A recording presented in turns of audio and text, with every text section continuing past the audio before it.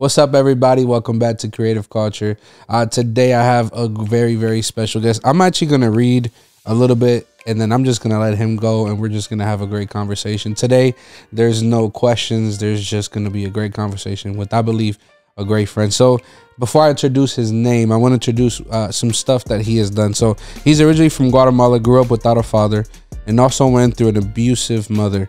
Started to drink very young, came to United States at 14, started as a dishwasher and cleaning bathrooms.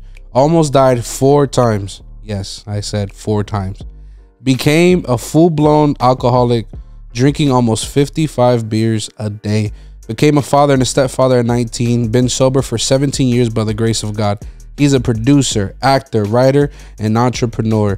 And I'm going to get to the rest of these, but I'm going to introduce him now.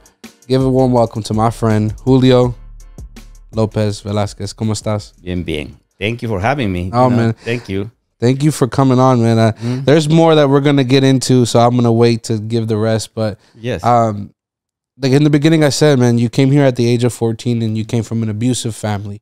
You know, your mother was abusive, and then you didn't have a father. So uh, let's get to the young Julio before we get into the Julio today. Well, I think, you know, uh, uh, I remember when I was like about six, seven years old, you know I mean? My mom used to find me watching uh, black and white movies at two o'clock in the morning. I'm supposed to go to, to, to, to school, and then she's right there behind me with a bell trying to make me go to sleep, you know what I mean? I think, you know, not having a father really affected me, but I wanted to be tough about it, you know? My mom, she grew up, you know, getting beat up, so that's what she knew. She became a mom when she was 15 for, uh, with my with my brother, and then 17 when I when I was born. So uh, at that time, I couldn't understand it. You know what I mean? I just couldn't understand the beatings and everything. But that's how she grew up, and that's what she knew. You know, uh, thank God, you know, that everything changed after after a few years back. uh, After I came back to Guatemala and we talk about it, but it's just you know it was tough because uh, nobody understood me. I, I I was the kind of guy who was always always had uh, you know nightmares. Uh, I sleepwalk. I used to wake up sometimes in the streets already, wow. and I was so afraid to go to the bathroom that I will pee in, in bed. You Yeah. know what I mean? So uh, I went through all this trauma. You know what I mean? My nightmares were horrible. The beatings, you know what I mean? Everything, you know what I mean? But I, I try to always play it off. You know, I have Yeah. that, that imagination. And maybe that's why I love movies. Maybe that's why I love dancing and everything. You know, I used to watch ballet. And people in Guatemala, in Guatemala, Ballet we're talking about eh, like uh, eh, people. We go like, uh, "What? Why are you watching ballet?" I'm like, "It's artistic," you know what I mean? But nobody could understand. Very that. artistic. And my and my mom couldn't understand that, you know, all the nightmares and stuff like that. She even took me to, to get exorcism, thinking that I was possessed. You know what I mean? But i- in in a, it was really really rough, to be honest with you. But I always kept it quiet. You know, I always wanted to be tough. By uh, and I used to hide in corners and, and imagine things and stuff like that. But it got to a point, you know, where you know. Uh, my mom, you know, what I mean, she got tired of me maybe being in bed, you know, that uh, she sent me out and I had to go and sell rocks doors to door. And that was the most embarrassing thing that I always kept to myself for many, many years because it got to a point, you know, that I she woke me up about, uh, on a Saturday and she goes to me, there was a big, you know, uh, like a canasta, they call it, you know, full of rocks. And, and I'm peed out because I didn't want to get up to go to the bathroom. I was scared to go to the bathroom. It was so far away from where I sleep. And she goes, get up. Now you, you either you're gonna stop or we're gonna or, or we're gonna make you stop. And I remember going out with my pajamas, you know, uh, smelling like pee in at 11 o'clock in the morning and, and she's with a belt, like a, maybe like a half a block behind me and knocking on the doors with the rocks. And I remember knocking on the first door and this lady come out. The first thing she goes, oh, this smell, of course, you know what I mean? And she just looked at me and she was like, mijo, uh, what do you want, you know? And I'm, I'm crying, crying. Like, I'm like, will you please buy rocks? And I'm crying, I'm embarrassed. And, and she looked at me, I can see her eyes getting all watery. And she goes, how much are they? You know, and I didn't know the price. So I was like, "Ah, five cents. She goes, give me two. So I give it to her, and I'm thinking, okay, that's it. I'm turning back and I'm going back home. I learned my lesson, you know, but it, it wasn't about a lesson. It was like I, I was scared. And she's behind me. She goes, no, you're going to continue.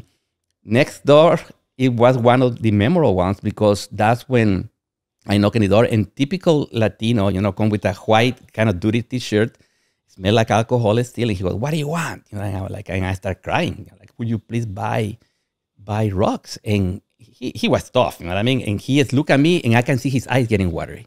He goes, "How much are they?" You know, trying to be, you know, Tough. Yeah. tough. And I look down, And I don't know why I say 10 cents. Why did I raise the price? Why did I do that? That moment I couldn't understand. And he, and he goes, okay, give me two. That continued for another maybe like a five or six hours. Finally, I came back with all this money, you know what I mean? And I throw it on her feet and I'm just crying, you know what I mean? It was the most embarrassing thing. But that's something that I always kept to myself. I didn't want anybody to know. Uh, years later, you know, somebody, uh, you know, uh, uh, finally I'm doing acting classes, you know, years later. We're going to get into that later on. Yeah. And we have a, a comedic uh, classes that we were learning with a, a good friend of mine. He was an amazing actor. He killed himself, I remember now. And he goes, You have to use everything that you have. You know what I mean? Because not only is going to be therapy, and and I was always scared to anybody to find that out. You know, that I pee in bed. And now, how you know when we start going into it, you know, when I open my comedy thing, I go like a, you know, okay, my name is Julio Armando Lopez Velasquez, and I added more last names, you know, like a typical Latino, yeah. and I like a, and I love to pee in bed. and that and people will start laughing, Yeah, and I love it. So right there, I understood. You know what I mean? The everything that we go through Eh, and it's embarrassing to us is the things that made us and and, and, and, and it's, it's, it's the things that, that you know the, the the story that we have to tell. Because when i got to that point i eh, then i understood oh my god i was an entrepreneur when i was seven years old. I went from five cents to ten cents. You know what i mean? You start understanding how god puzzles everything and teach you but you have to accept your past and you have to and it, that w- it's like a little victories you know, step stepstones that is going to take you to the place. But if you don't accept those stepstones from behind and you want to forget about it, you're never going to get to the top. And I understand from that moment, I remember I started opening my chest and just letting people know everything about myself. And that made me free too. So if that was the beginning in Guatemala, I remember uh, not having a dad was tough because my mom will show up at, at the fa- father's, you know, like a Father's Day, and I will tell my mom, "Don't show up," and then I, I, I end up being beat up, or I, I start beating up somebody, making fun of me that I was a bastard. You know what I mean? So I went through all the different stuff, you know, and finally in 2013, you know, my father come back. He left us when I was five months old Wow. and you know eh, but i i always eh, you know i felt always that my mom always has preference for my older brother not me it was always something that i couldn't understand you know what i mean why i remember one time having holes on my shoes and my brother was supposed to do a play and i go mom i have holes in my shoes it's raining look and i go i have holes can you buy me shoes? No, I'm gonna buy those white shoes for your uh, brother because he has a play. And I couldn't understand my man how a, a, a mother will let me be with holes than buying a.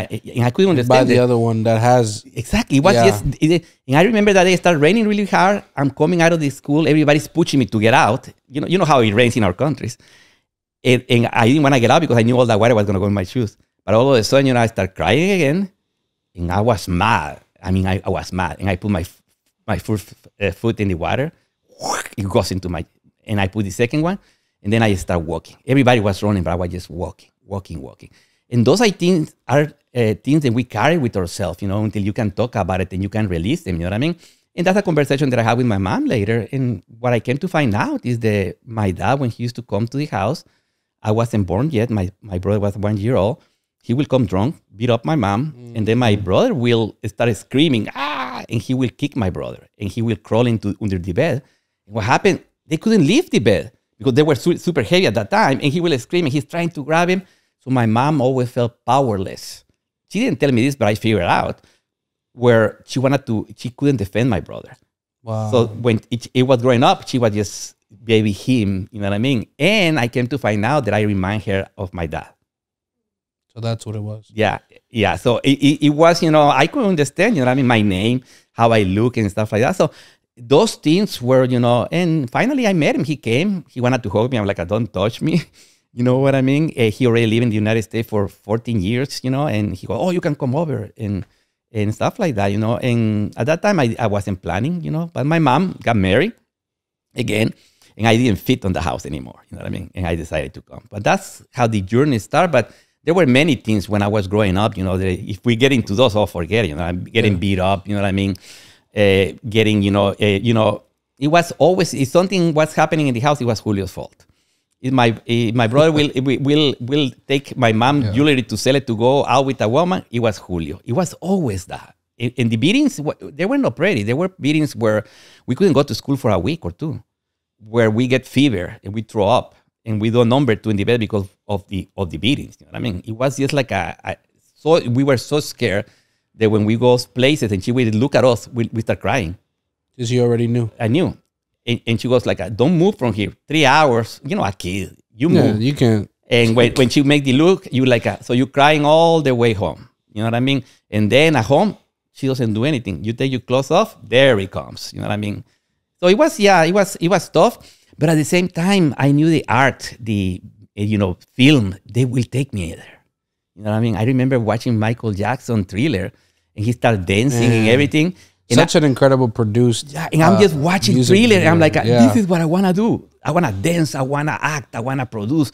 So it was something, you know, and I wanted to have my own business too. I, I felt it when I was little too. You know, I, I didn't want to be dependent to anybody. So I think everything came from like, and that's why God does. You know, I mean, when He deposits something in your soul, in your heart, in your mind, in your brain, it can go away. It can be dormant for a long time, but it, it, it doesn't go away. Do you think that um, the unfortunate things of your mom doing the abusive uh, acts towards you and your brother, do you think that almost pushed you to become uh, in searching of those fantasies of thriller? You know, such an incredible music video, things like that. Do you think that that pushed you uh, to almost draw near to that because you would see something that was almost like I guess you can say fantasy, and it like drew you to want to do something. I think you know I had something about movie because they always uh, music and dancing for a long time. But I think when I I, I we I used to go into those dark places where you get beat up, where Yeah, where you don't feel eh, wanted, where you don't feel seen. That I that I I I I, I was drawn to to the fantasies, to writing. Uh, you know, in, in, in thinking about films and stuff like that. Yeah, of course. You know what I mean? I think that was my safe place. yeah, okay. that was like my safe place. You know what I mean? Because nobody could take that away. No, I remember we used to have a big, a, a long table, you know, those long tables, wooden ones with like a like a 10 or 12 or 15 chairs. And I used to go in the middle in all those chairs. And that was like my castle. That was like my safe thing. And I used to go and think about movies and stuff like that. You know what I mean? So so yeah, you know, that was my safe place. Nobody can touch me there. no, yeah. Mm-hmm. You you saying that reminds me of when I was a child. I would always go underneath our table, and to me that was my mansion. To me that was my business. Exactly. At Mm-hmm. One point, that was my church. You know, Ex- exactly, uh-huh. Because you know, growing up, you know, I was fortunate to have my father. So him being a pastor my entire life, Oh, that's awesome. It was it was like, well, this is my congregation. You know, I put the teddy bears there, and that was all awesome. underneath. That's Mm-hmm. it was all underneath the table. Um, and, and in the Bible, when I was reading it, you know, you're talking about Guatemala, but now you transition at the age of 14 to come to the United States. What even got you here? Because Guatemala to to the United States is a very, it's not close. No, what happens is, uh, you know, when I saw that my mom uh, started this new relationship, he he's awesome. You know what I mean? He, uh, too bad he had dementia now, but he he was awesome with me. Always he teach me how to do weights and stuff like that. But any mistake that I will make in that house, it, it was, you know. Mm-hmm. So I just I didn't I didn't feel like I fit, you know. And my dad before he he left, he told us, "Oh, you you're welcome to come. You're welcome to to you know. you're you gonna go to school? All, all these offerings, you know what I mean?" So I just told her, you know, I'm leaving. And she goes, okay, leave. So I remember just calling him, you know what I mean? I got a one way ticket. And it's funny because when when I was trying to go and go, it's like, okay, mom, bye. You know, you're getting all sentimental. She goes, you're back. I'm like, okay, I'm leaving now. you know what I mean? So, so it was something there, you know what I mean, that I didn't feel wanted. Getting to a plane uh, at tho- those times when you were a minor, they will sit you in the cockpit Oh yeah, they, will. They pull would. one out like that and stuff like that. And all of a sudden, the plane started taking off. And all of a sudden, it's like, eh, eh, eh, eh, start going off. I'm like, oh, I'm like, uh, what is going on? And one of the engines went out. And the plane, Oh. ah, I started going like this. And I'm like, uh, what is going on? And I'm freaking out, you know, but I'm not screaming. I'm just like, "Ugh," and I see going this, like this. Finally, he got control of it. He landed the, the plane back in Guatemala, and we waited for another hour. So finally, we, we end up have to stay in Mexico. Another plane came over, and we went to Mexico. So that was my first place. I had 20 dollars, and I went to see uh, with this couple that they thought that I was older, you know, and I didn't say anything, you know. And at that time, one thing that I forgot to do, you know, when I met my dad, I met he, uh, my my dad's family, and I started drinking when I was 13. That's the first time that I, I you know, grab, you know, a, you know, uh, like a rum and a beer, you know what I mean? And I drink when I met them, you know, hey, you want to drink? I'm like, yeah. And you take a big thing, alcohol comes out, almost out of your mouth, a nose, and then I grab a beer, you know what I mean? That's how you you will drink, you know, when you were a kid.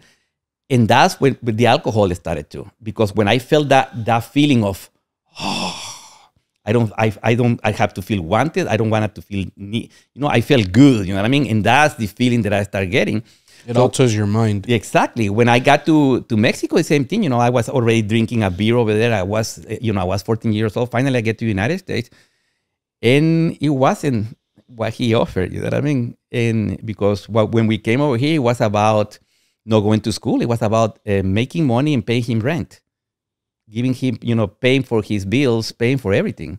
He wow. was he was a, flu, a, a flu, you know, uh, well, a, an alcoholic too, and basically, you know, uh, I'm like, I'm going to go to school next day. He goes, no, you have to get up. We're gonna you're gonna go to work.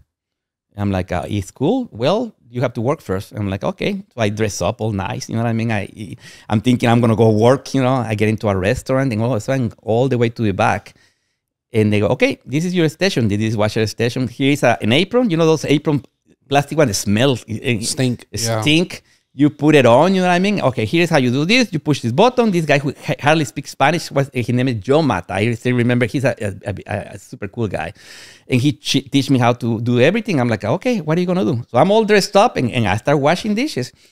All of a sudden, um, one of the cooks come with all these pans, and he goes to me, careful, is hat. In Guatemala, when they teach you a little English, they go, hat is a hat. Hot is, is hot. You know what I mean? So it's completely different pronunciation. So I look at him, I'm like, ah, uh-huh, and I grab the pants, and I, I burn myself like almost the skin fell off out of my, my hands. And, you know, and, and but the funny thing that I laugh about it because that's how I learned hat. what hat means, you know what I mean? Eh, but that's, that's how you yeah. that's how you learn, you know what I mean? Yeah. And, now I laugh about it, but it wasn't funny. They have to put all this, they gave me gloves, they put all these bandages, and I have to continue. Uh, we used to walk like seven miles to the house. You know what I mean? Because we didn't know how to take a bus. We didn't speak English. At nighttime, all wet. But what happened? That restaurant used to turn into a disco. And it was just funny because, you know, the first day, you know, I mean? I'm washing dishes. And we used to finish like around three o'clock in the morning. Okay, Julio, it's your turn to go and clean the bathrooms. And, like, and they give me a hose, a big hose you have to plug in. Like I'm more like a, like a fire hose. And when the restaurant goes into a disco, imagine everybody drinking. And when you go into that bathroom, oh my God, you can find puke, everything. You know, numbers twos all over. It was awful. And you just go and you have to spray the whole walls and clean everything. That thing will splash back to you. And then, you know, you try to clean yourself as much as but you stink. And then you have to walk home. And when we get home, we couldn't take a shower because we will he didn't want us to take make any noise because we were going to wake up his wife. So there you go, four of us in one little room, two twin beds, smelling like that, and we couldn't take a shower until next day. And it was, you know, those were, those were the moments that you know sometimes you almost want to throw up and yourself, you're like, you know what I mean? Mm-hmm. But you can take a shower.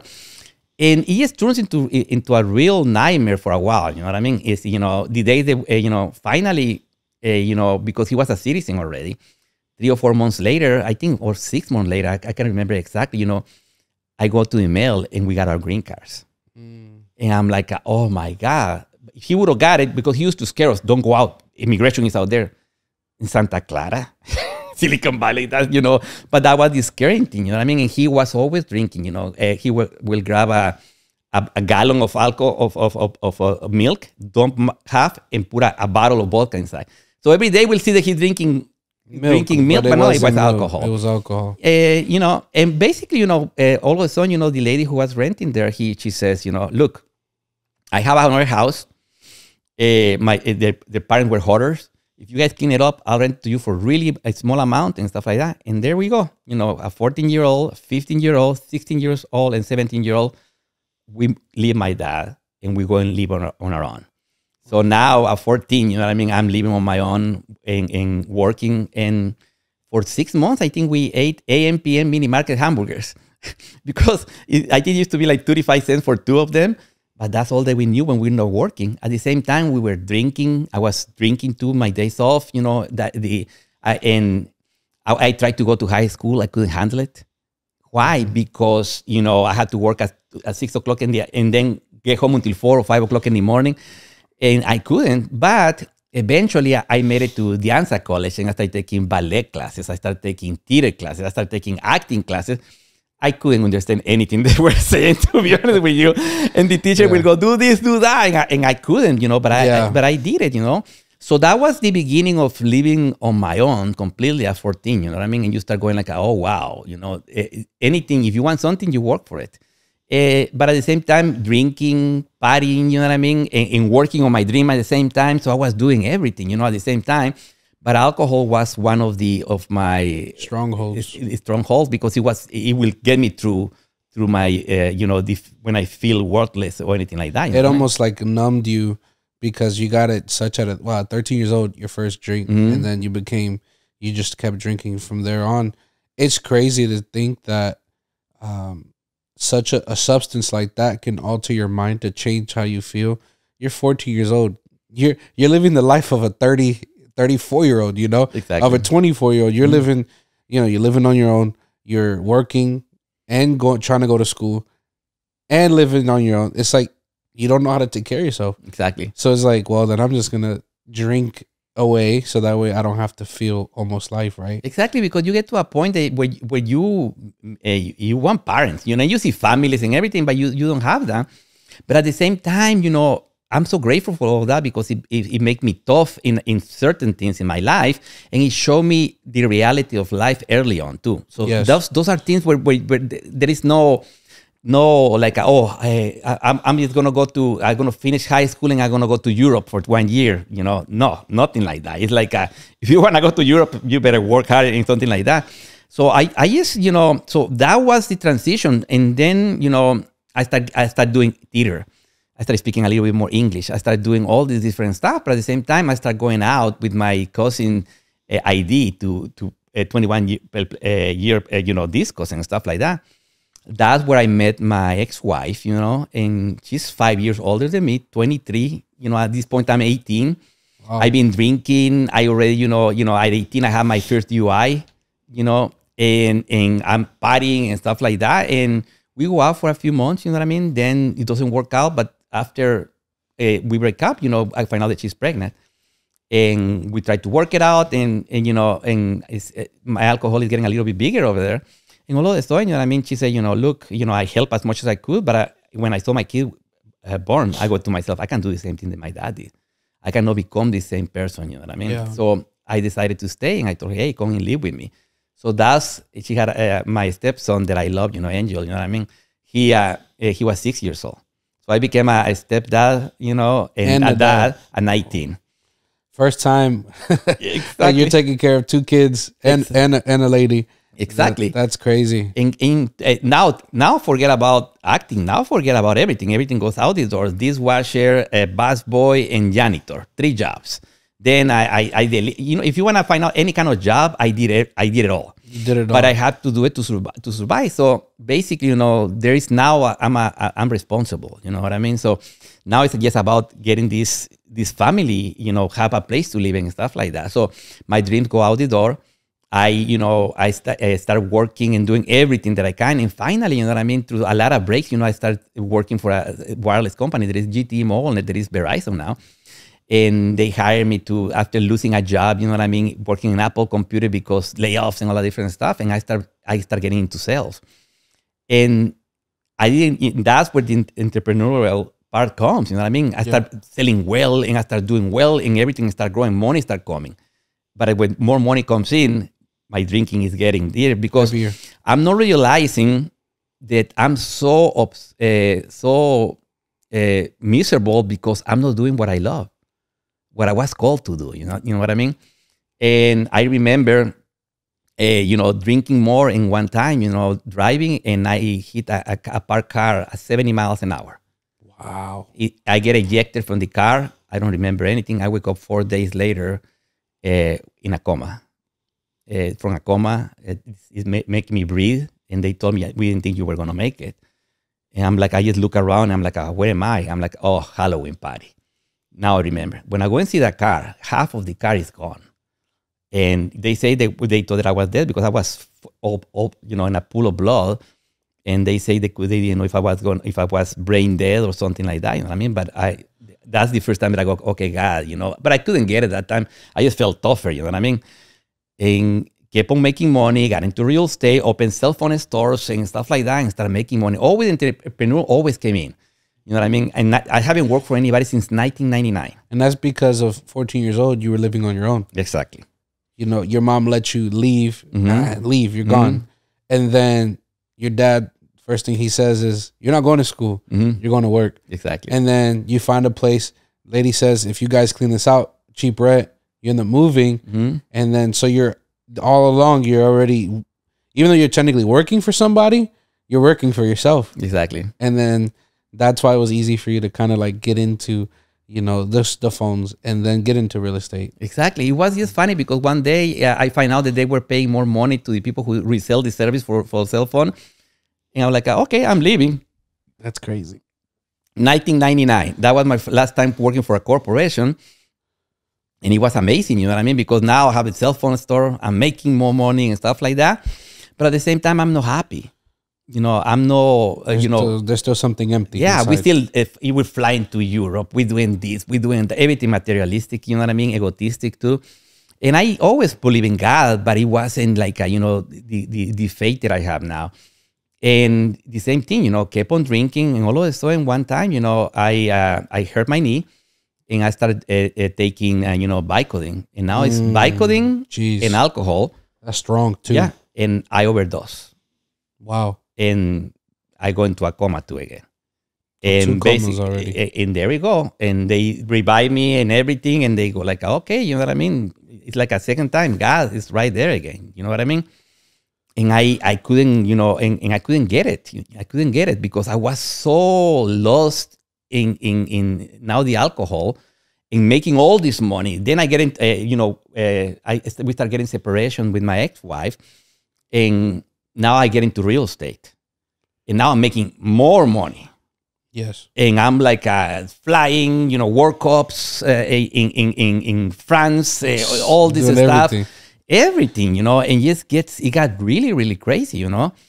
And all of a sudden, one time, you know, I come home and my stomach started getting swelled up and swelled up and swelled up. And I end up in, in the emergency and they say, you have pancreatitis. Your pancreas is so swelled up, they, we don't know what to do.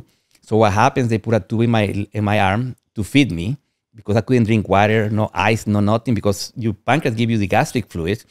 And they say we have to wait for the for the all the swelling to go down, and and I will do my own morphine. And it's funny because that's crazy that's when I was going through the separation, I was going through everything, and I tried to turn on the TV, and the control falls out of my hands, hit the, the bed, the TV turns on, and there's Joel Osteen. And I'm like, uh, what? You know, and he goes like he started talking about divorce, you know, addiction, everything that I was going through, and I started crying like a baby, crying. because you're experiencing that on a de- on basically your deathbed Exactly. I'm sitting there and I went in with a 230 pounds, I believe, So- because I was heavy. And all of a sudden, you know, uh, they get me there with the tube feeding me and stuff like that. I was there for already like a month and a half, almost two months, and they uh, I was at 169 then. And they go to me, uh, there is nothing we can do. The swelling is not going down. So basically, we're going to send you home. And I'm like, uh, what do you mean? And they're like, uh, there's nothing we can do. So I come home with this machine, you know, with the liquid that I had. This nurse will come every two days to change the tubing and stuff like that. And I'm just sitting there, not able to eat or anything. And I have to go and see clients, you know, from from uh, that, that I have to. And I will go see them, disconnect the tube and plug it really quick. If not, all this blood will come out. And they will go, oh, Julio, you're losing weight. Oh, yeah, you know, and, and then drive back home. And I think, you know, it, it kept on going like that until I got down to almost like 120 or 110 pounds. And I remember coming back from seeing a client and he was like, Julio, you don't look good. I'm like, oh no, I just, I, I've been a little bit sick and stuff like that. Driving home and I get a flat tire. You know, I tried to change the tire. I couldn't with the tube and everything. And I tried, I couldn't. And I started crying, you know, in, in, in summer, 105 degrees. And all of a sudden I just get somebody, a, a shadow comes in like, do you need help? And I'm like, yeah, I can because I have, and I don't have, I don't have any power to, eh, you know, to, to, uh, to change it. I think I put my head down for a little while. I don't, I don't know how long. When I went up, the tire was changed. He was gone. I drive home and I come into the living room and I just go on my knees and I go, God, I, I can't take it anymore. Just take me. At this point, I'm watching Joel Osteen every week and I do and, and stuff like that. You know what I mean? And I just told, take me. And I felt this warmth in my body and I just fell to sleep. I think two weeks later, because they were doing MRIs every three weeks, uh, they called me like, Julio, the swelling is going down. I'm like, yes, you know, Eh, you start learning how to eat again. You know, eh, like a one spoonful one a day. You know what I mean? Then little by little you start, and everything start getting better. You know, three months later, I get a call and like, Julio need to come in. I'm like, ah, okay. Uh, all these, you know, all these bags form outside your pancreas with the gastric fluid, and we need to cut you up from your sternum all the way to your private parts. Oh my goodness. And and we have to to to open you up. You know what I mean? And I and I look at them and I was like, uh, what are the chances? I go 50-50. And I just felt the warmth again. And I go, I say, no. And he goes, are you stupid? You, you won't be able to work out. If one of those break in, they're going to eat you alive inside and all kind of different stuff. And I say, no. Two and a half months later, I get a, another call. You need to come in. I'm like, oh my God, now what? And they go, I'm, I, I'm a scientist. I'm a doctor. I, I look, this is the MRI for this and this is MRI for now. And I see, you know, look, look at this, you know, the bags are gone. And they're just like a string hanging here, like a, your body couldn't assimilate that. If that would have opened, you would have died and stuff like that. And we can understand what happens. And I just look up and I'm like, I knew was God. You know what I mean?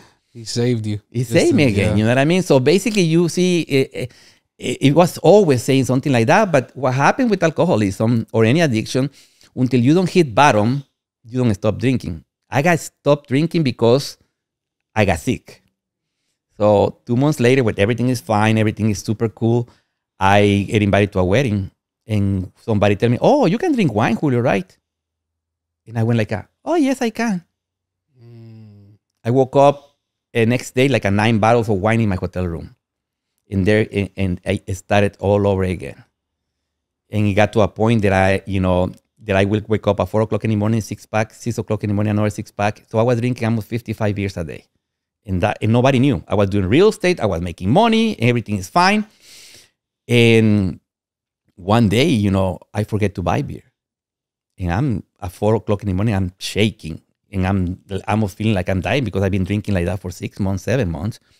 And all of sudden, you know what I mean? I, I go and pull all the beers that I used to always hide in the corners, eh, put in the trunk of my car and stuff like that. And that day I start going through beer, through beer, trying to drink, and I'm like dying. And that's when I count the beers that I drink that day. It was like about 49 plus the beers that I drink on, on happy hour or, or lunch and stuff like that. It was about 55, 58 beers a day. And I'm going nuts. And I go into my room and I hit the, the my clothes like this because I'm, I'm, I feel like I'm dying right now. I'm shaking and, and swelling and sweating. And, I touch a jacket. There were two beers inside the, the, the jacket, two modelos. I drink one like crazy. I go on my knees. I drink the other one and I say, God, I don't want to drink anymore. Please, I don't want to drink anymore. And I start crying. At this, by this time, it's six o'clock. I go and buy another 12 pack and I get a phone call like at seven o'clock uh, uh, in the morning. My sister in law. And she goes, Julio, eh, you know, my nephew was doing drugs and alcohol. And like, there is a place, you know, that I need you to find out if they take payments. You know, she didn't know that God was using her to give me the information. The information, and that's where you went to rehab. Exactly. That's when I, I, uh, you know, I, I call and they didn't take payments, and all of a sudden, you know what I mean? I go, what, what about me? And they go, what about you? And I start telling them my story, like, we can pick you up today. I'm like, let's do it. They came to pick me up.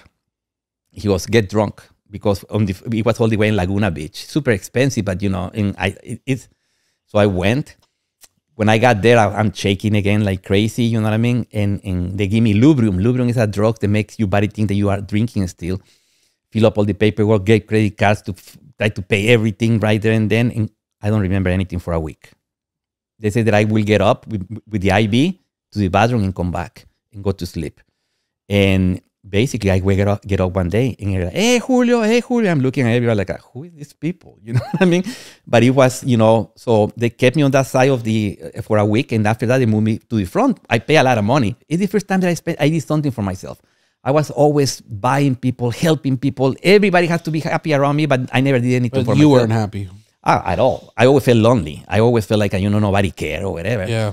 So that time And I remember when I moved to the other one, they have a chef, they had a, a, you know a trainer, a meditation, all this stuff.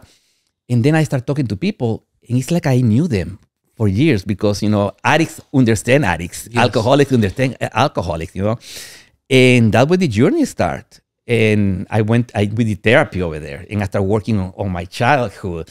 I started doing all the different, all this work, all this stuff. And when it was ready to to get out, you know what I mean? It was the most scary thing because now I, I don't have my, my best friend, alcohol. And I wa- and I got out of there.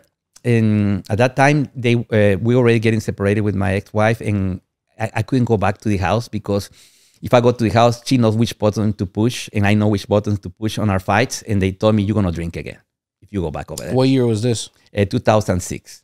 So what happens? I bought this house that we're, we're filming on right now to flip it. So what happens? I came directly to this house. I never went back home, and I remember paying the mortgages for five houses that I have. Yeah, four or five. Yeah, four or five houses that I have. Merced. Eh, I, I, I have one in the golf course. I have one in the house that we live on. I have the condo in, in Huntington Beach, and I had this house.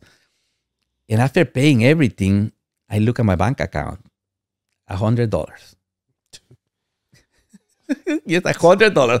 I have a hundred forty thousand Mercedes Benz Special Edition parked in the in- downstairs. Mm-hmm. I had all this Louis Vuitton, those Gucci, this Dodge, everything. You know what I mean? everything in the world. everything in the world, but a hundred dollars in the bank. And that's when I sat at the edge of my bed in this house. I remember and I went like, God, please remind me what what you put in my heart. What am, what am I supposed to? What did I want to do when I was a kid?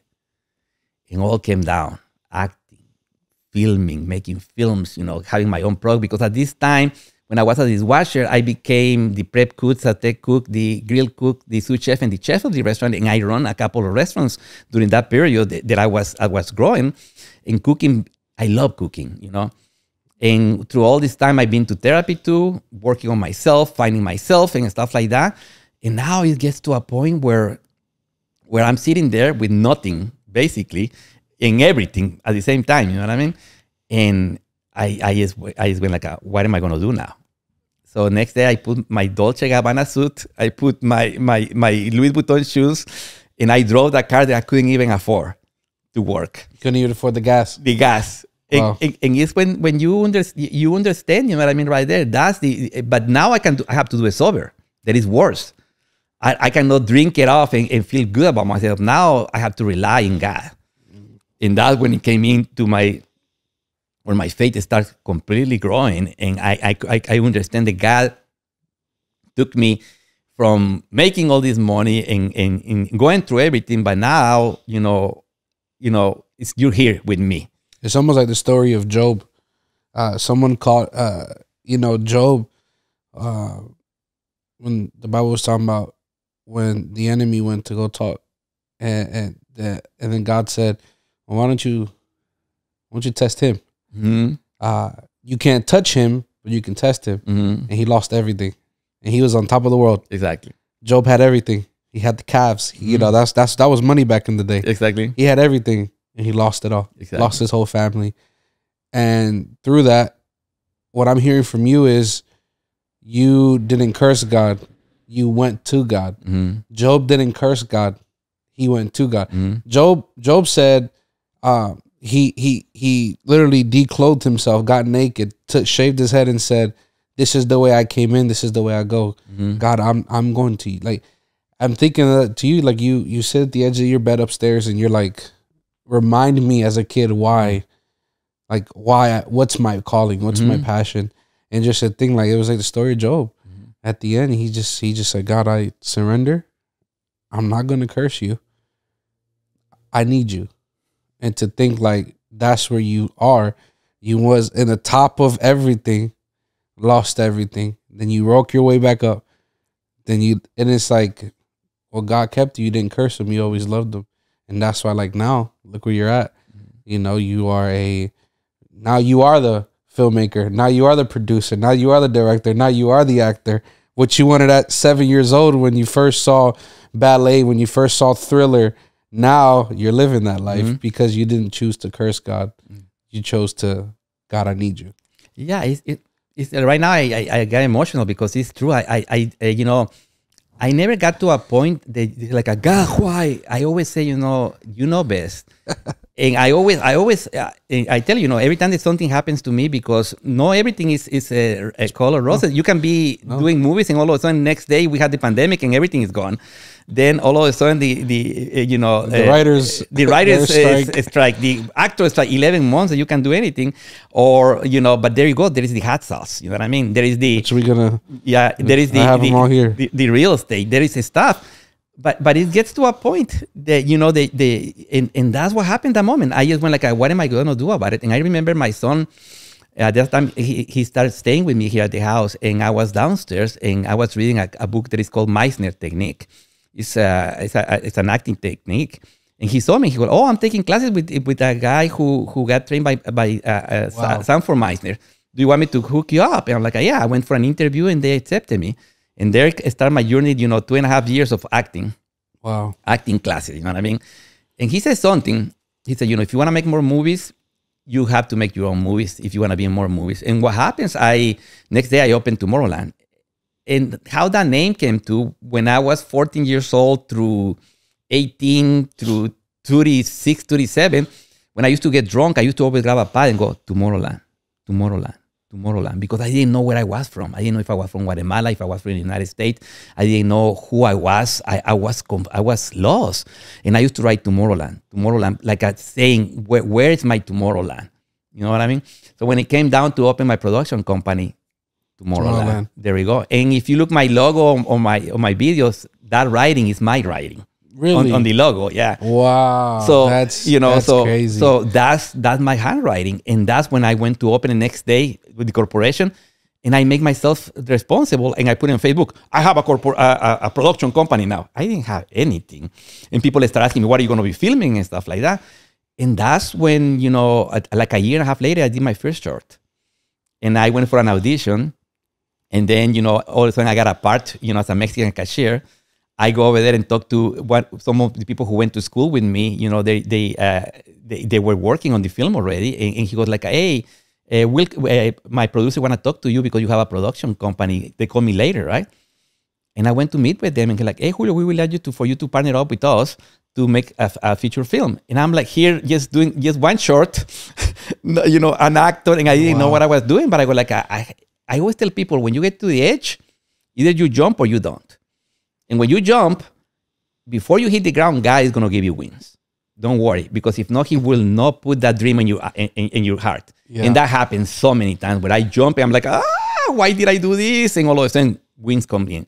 So I went to a meeting and and and they go like, oh Julio, we need like seventy five thousand dollars from your production company. I only had like thirty grand at that time, and and stuff like that. You know, and I felt the warmth again. Yeah, that's my sign that I have to do it. The same thing with the hot sauce. I felt the warmth too, and and I walk out of there and I look up and God, you're my bank, because I don't know when I, when am I going to get seventy five thousand dollars right now. I don't know. and I got to a point two weeks late, uh, two weeks before I have to come up with the money. I didn't have the money, and I just went. You know, I was going to call them and tell them, look, I, I don't have the money. I can't do it. And all of a sudden, I get a phone call, and this guy, hey, Julio, I'm selling. I want I want to sell my duplex and I want to buy a, a million dollar ranch, and the person who sells the, the ranch doesn't have representation, so you can represent them, and she wants to buy another property. So I play the call, but in a different way. Look, you have to wait for me another month. And they go, oh, don't worry, Julio, we, we're running behind. So I close all those deals. I get the $75,000, and there I am being a producer without knowing nothing. And, and that's the film that I learned everything that I didn't want to do with anything. So I think God put me there in that way I can see you're not going to treat the, the crew this way. You're going to do this. You're going to treat, you know, everything that I learned over there. But that's the moment when I knew, you know, that, that if I didn't jump, I wouldn't be even making films. Maybe I, I, I will be audi- auditioning right now. That's it, you know.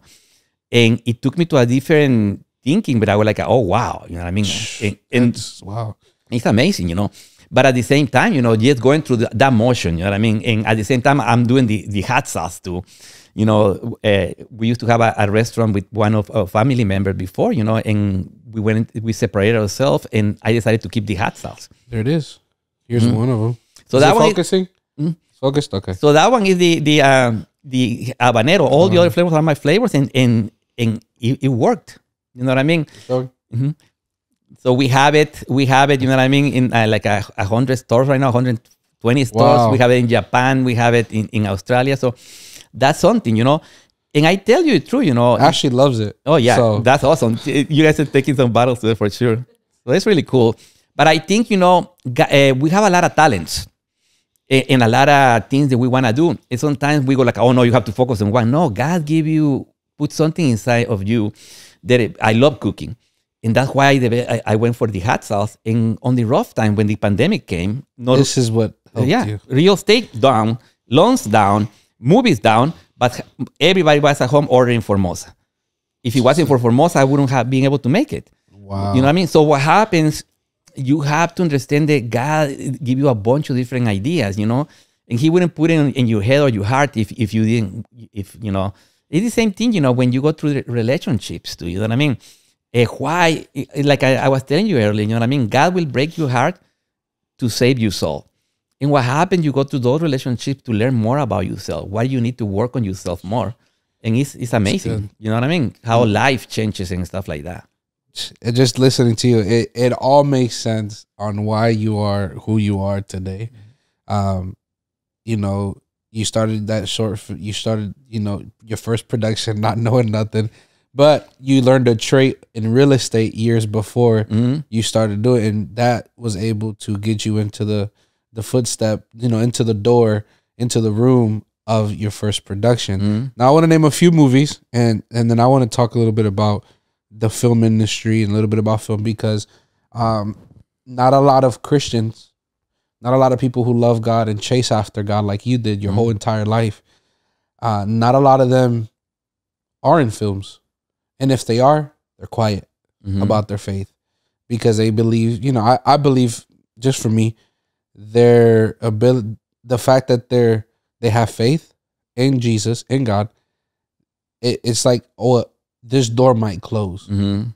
not knowing that well maybe if you talk about jesus a little more Mhm. maybe even more doors are going to open Exactly. and and and other things are going to happen you know you've been able to um let me see here this is just a few uh, a few films that you that are written here a place on the field Mhm. on our way buck run at last wolf mother and you're currently in uh, post production for dope queens Mhm.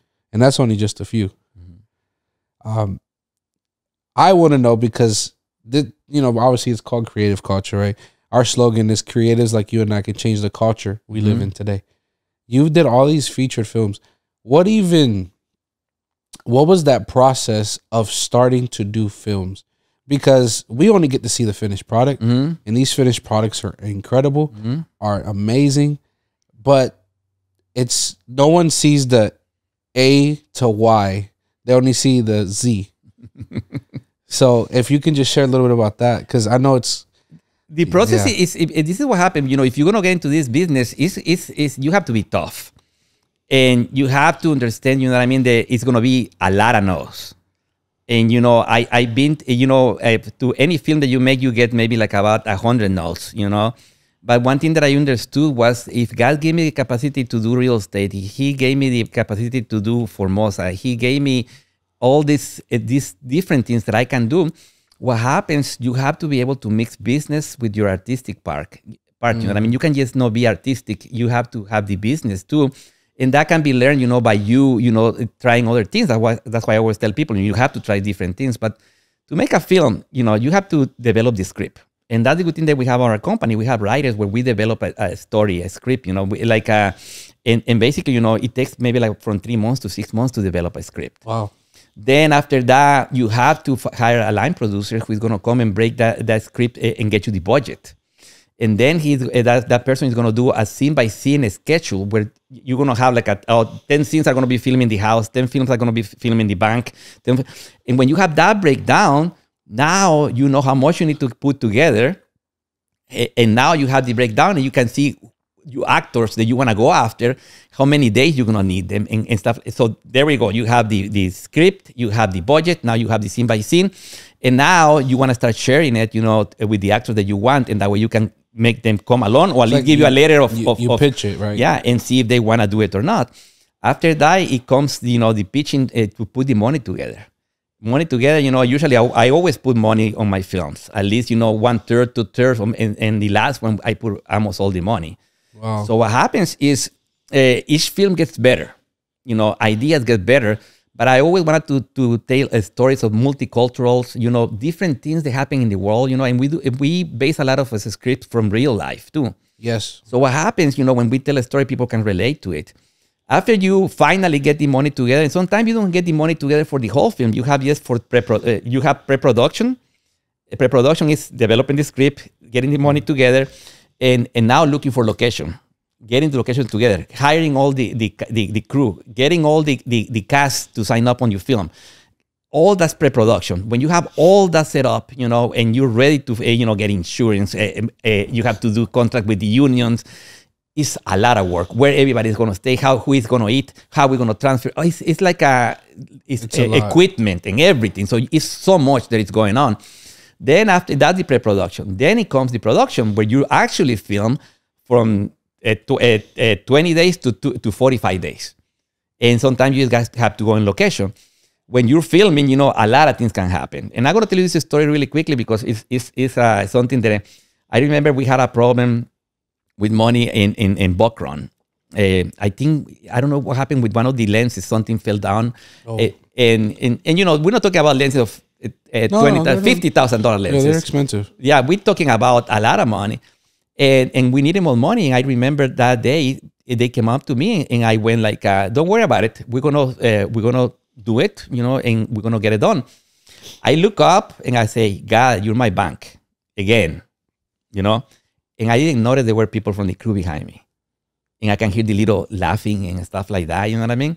I look back and I just kept on walking. That day we're, uh, we're watching the dailies, you know, everything you film during the day, you know what I mean? To see everything is fine and stuff like that.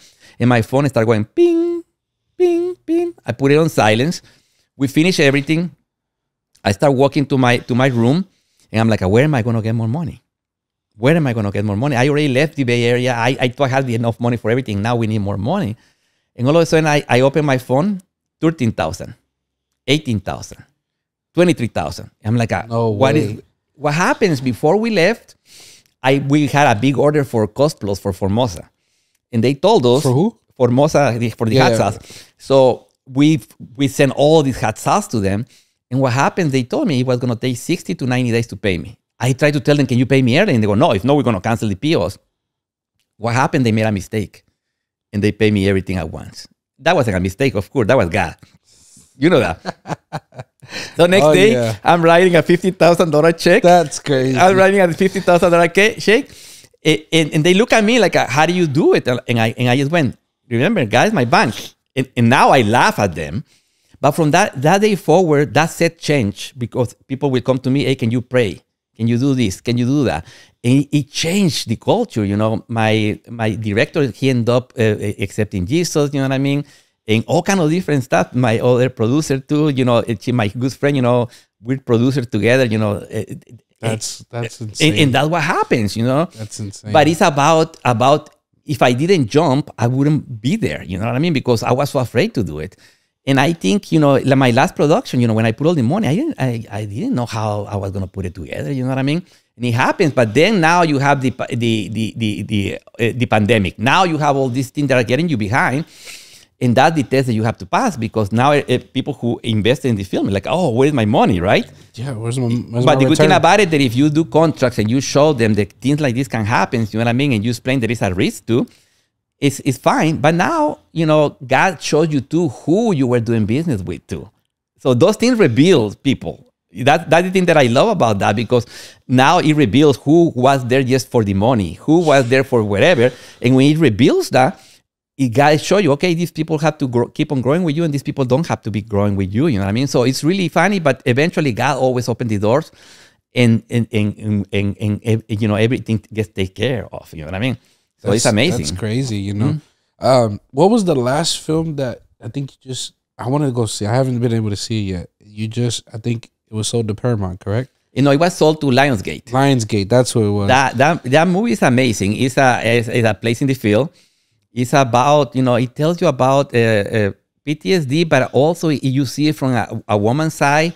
You see it from what what really goes on on people on, their heads. You know what I mean? And you see it from a mother's side. You see it from all different aspects. You know, so it's an amazing film. and that's the film, the first you know studio film. You know what I mean? So, so it's, it's super proud to be you know Lionsgate and stuff like that. But at the same time, it shows you that all the work pays off. It shows you, you know what I mean, that now you in a, eh, a you you have connections. And why I always tell people to always always be yourself and be who you are because I remember being on one of those Q and A's over there, you know, just watching, and all of a sudden, you know, this the main guy from from the studio goes and asks somebody, "Hey, where you go to school? Oh, MIT, I have this. Eh, where you go to school? Oh, USC, I have these these things. What about you, Julio? Oh no, I came to this country washing dishes and cleaning bathrooms." and everybody start laughing.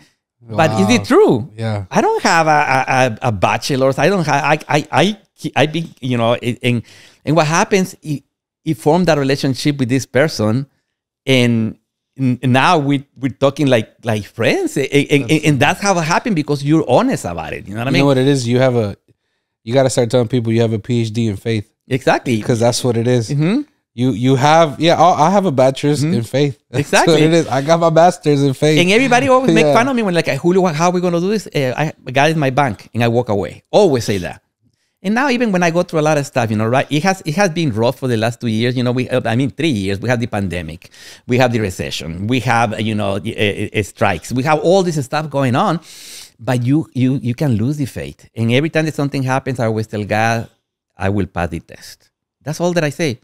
I'm not giving up. And another thing that I always tell people, you have to speak like already happened, because people were mm. laughing at me when That's I say, when I say I was uh, like, when I open my, my, my production That's company good. and I say we're gonna be making films and they start laughing. When I told everybody I was going back to acting school with your accent, with you who you think you are, you're already 37 years old. I didn't I didn't make my first uh, short until I was 41. Wow. You know what I mean?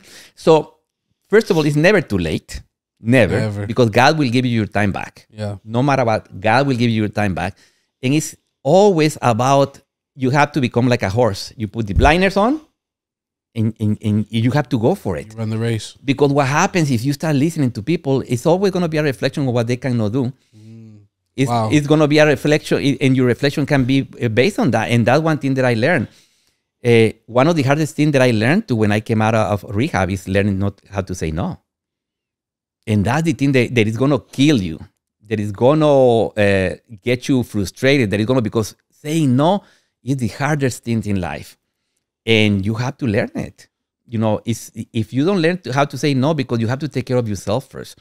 If somebody wants to make you feel guilty because you're not going to lunch or going out to the game with them, because I went with you last week and stuff like that, it's about them. It's not about you. Uh, if you want to go to the movie, you go to the movie. You don't want to go to the movie, you don't. You know, but you have to take care of yourself because what happens, in order for you to be able to to listen to God and to be in peace, you have to be in peace with God and yourself, not anybody else. But I'm going to tell you something we're not perfect.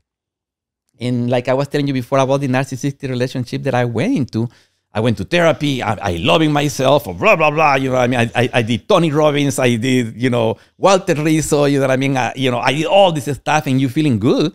But all of a sudden, somebody comes with a, a love bombing, and you never experience it. You get you you. I'm sorry to say it. This, you know, you get your ass kicked. Mm-hmm.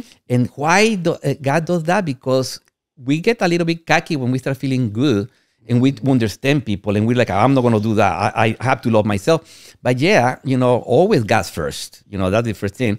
But then what happens, there are sections in your life that you think that you work out and you didn't, you know?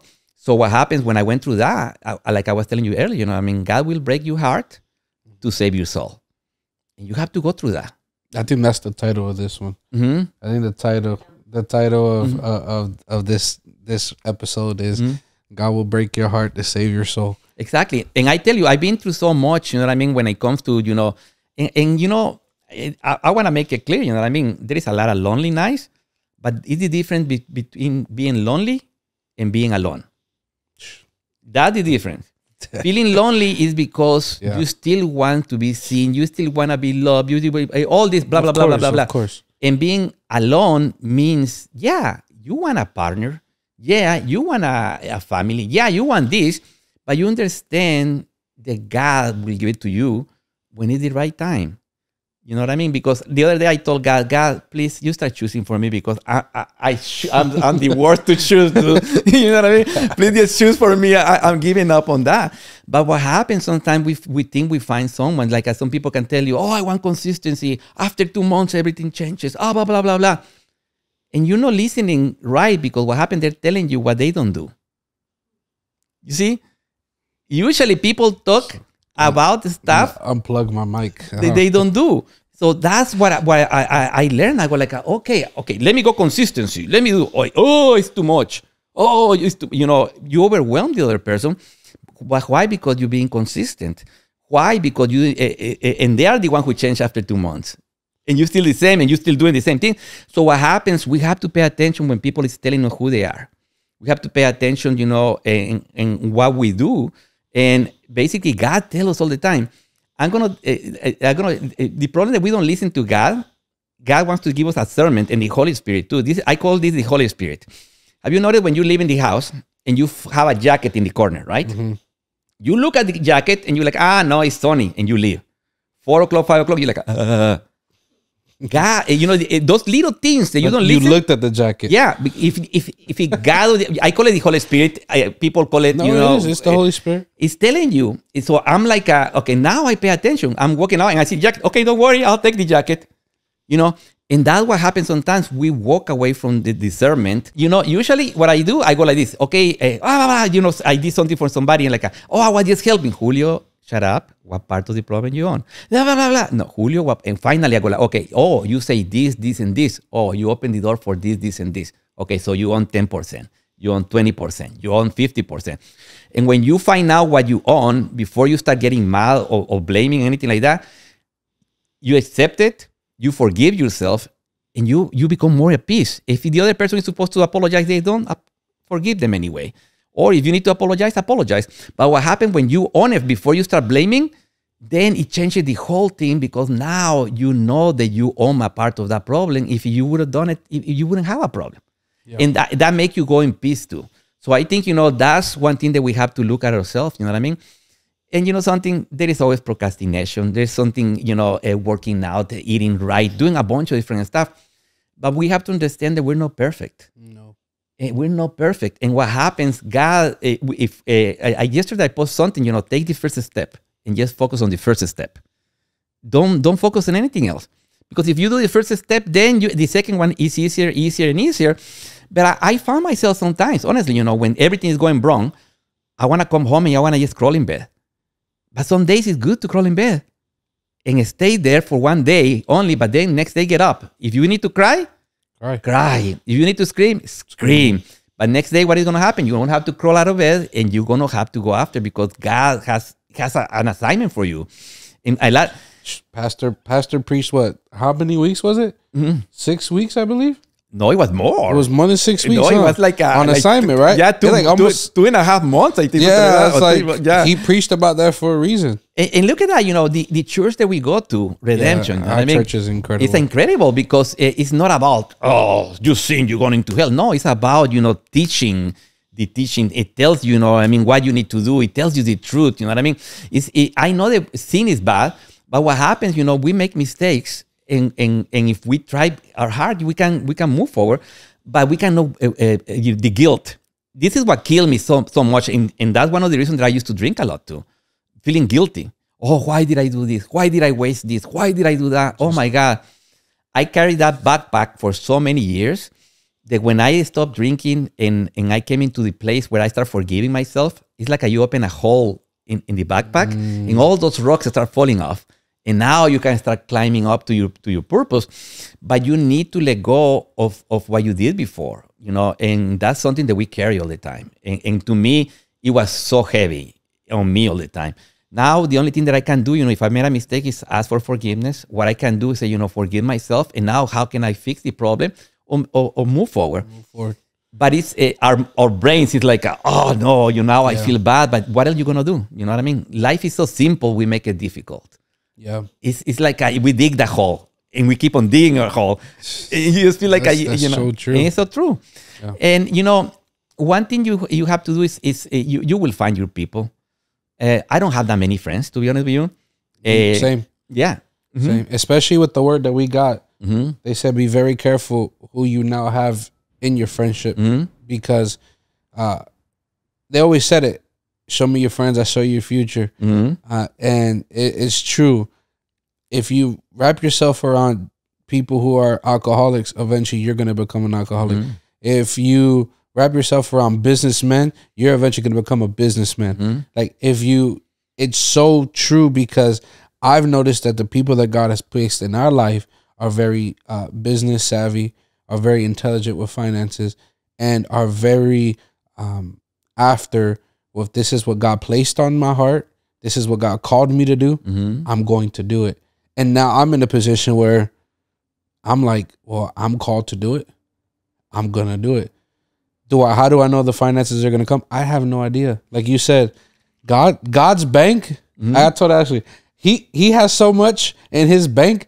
They don't even have a word for it. Exactly, huh? It's called God, like because He's the ultimate bank. You know, He's the ultimate lender. He's the ult- He is where you go to to get everything that you need.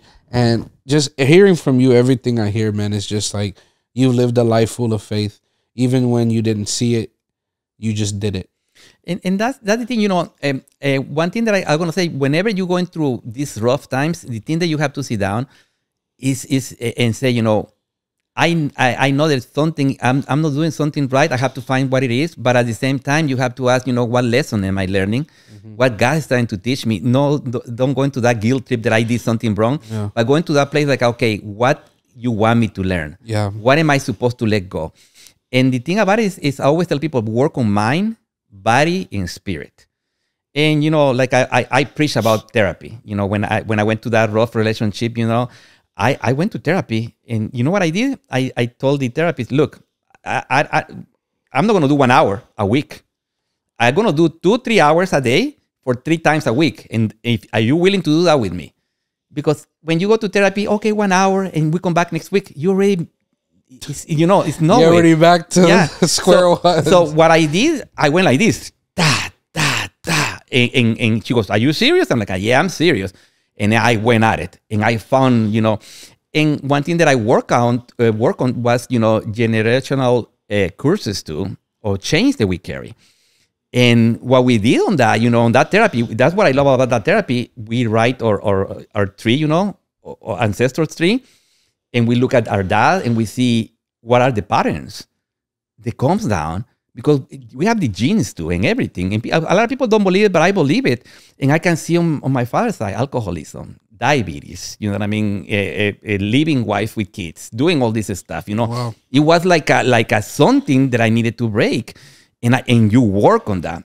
Uh, before, when I used to tell uh, people, who used to ask me about my dad, we go, oh, my dad did this, really upset.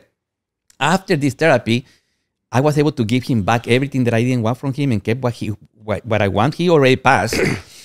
And what happens now? You ask me about my dad. I'm like, a, I go blank. I'm, I don't feel the hate anymore, or, or, or that being upset anymore. But that that's what therapy does. You know what I mean? That we have to work to a place where we have to to understand the and we have to go back to childhood. We have to go back to everything, and we have to clean up our, our, our ourselves. You know what I mean? And what happens when you do that? You can move on, and you can take that backpack. Another rock falls out of the backpack. You know because we you know we always healing, always Yes, healing. always. and always. that's what we have to understand you know? Like if you talk about love you know what are the the pillars of love you know? Is you're gonna talk you know a, a friendship love honesty uh, we have a, a, a, you know a honesty a, a loyalty. You know have your loyalty too you know what i mean? So you have to have all these all these uh, these these uh, these pillars for a relationship to work you know what i mean but you know communication too. So basically if you don't have those those pillars you know what i mean? It doesn't work you know what i mean? Work. And that's it's, it's wobbly. It's and it's everything. It's wobbly. Everything. relationship with friends and everything and Everything, stuff like that. so it is but, but you always have to go back to you. Always. anything that, that is not going good first of all look at yourself and see what is what, what is my part on it? What am i doing over here? And then i always call it uh, do your michael jackson your moonwalk if it isn't for good for you you do to your moonwalk you're gonna hear me always saying that I, i'm moonwalking out of this man you know what i mean because you have to That's good. That's good. I think this is a good place to stop for now. Mhm. Uh, I think we need to do a part two. Okay. For sure. And um, maybe, man, you just have so much to say, so much. because you've been through so much. And I think it's incredible because people need to know that in order to you, you know, in order for you to be quote unquote what everyone says is successful, Mhm. You got to experience a lot of things in life and a lot of trials. And I'm just grateful that there's a person that I'm I'm connected with, a friend with that can almost even help me through the moments just through the conversations that you and I have. Mhm. And it's incredible and and I'm glad that I got to sit down with you today. I think this is just the beginning. And uh, man, I'm excited. I'm gonna put all your links down uh, for for people to follow you Mhm. on social media. Your Thank you. Uh, your amazing sauce, Thank you. all that because uh, I think you're an incredible guy, and to get to know somebody um, on a personal level, it, it makes you honor that person even more because of what they've been through. Thank I you. didn't know that you've been through it Mhm. because you don't walk like you've been through it. Mhm. You walk victorious, and you walk victorious because of of everything that you've had to uh, go through. So Mhm. thank you so much for joining. Uh, thank you so much for coming. Uh, Thank you for know, having me. let- I'm- thank you for letting me come to your house and take over your living room. No, thank you for coming. Honestly, you, You know, I mean, this is amazing, and, and Yeah. I, I, uh, I want to give you props. You know, you guys are so professional. You guys are amazing. You're a good friend. You know, and and uh, you, you, your faith moved me too. Your wife too. You know, it, it, it moves me. You know what I mean? How how faithful you are, and, and it's an example to to really, you know what I mean? Uh, how a couple and a, and a husband and wife should be because you you guys support each other so so beautifully. And and just by looking at that, I go like, oh wow. Even if you know sometimes you don't see it, uh, you know sometimes we, we like this. And people is looking at us, you know what I mean. I admire you for, for the relationship that you guys and who, for who you are too, and and you stand up guy too. You you go through through everything and, and you just keep on going to and and, and your I wife keep too. the smile on the face. You man. have to because God is is always there. You know what I mean? So thank you for having me. No, It's- it's you. awesome. No, thank you, and we're gonna for sure do a part two. And uh, thank you, sweetheart, for sitting over there. And she's been directing the whole podcast. So something's amazing. wrong. Blame her. No, I'm just kidding. uh, thank you guys for tuning in here at Creative Culture, where we believe creatives like you and I can change the culture we live in today. Go be the change of the culture. We'll see you on the next one.